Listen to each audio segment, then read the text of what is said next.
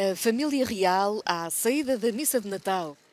A Rainha Isabel II cumpriu a tradição da quadra festiva juntamente com a família mais próxima na Igreja de Santa Maria Madalena, em Londres, no Reino Unido.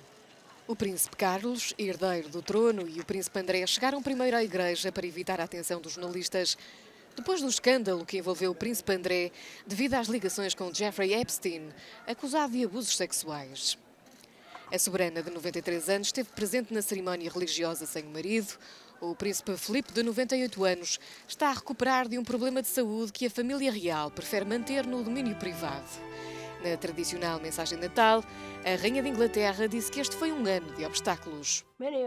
Muitos de nós já tentaram seguir os passos de Jesus. O caminho, claro, nem sempre é tranquilo. Este ano pode ter sido bastante acidentado em certas alturas, mas pequenos passos podem fazer uma grande diferença. O príncipe Harry e Meghan Markle passaram as festas de fim de ano no Canadá e deixaram um postal eletrónico com o filho Archie, de sete meses.